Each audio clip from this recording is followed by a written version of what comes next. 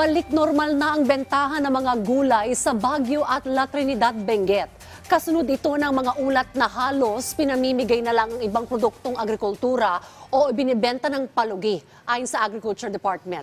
Sinabi ni Assistant Secretary Arnel de Mesa na nauubos ng ulit ang mga itinitindang gulay gaya ng repolyo, pechay bagyo at mga carrots.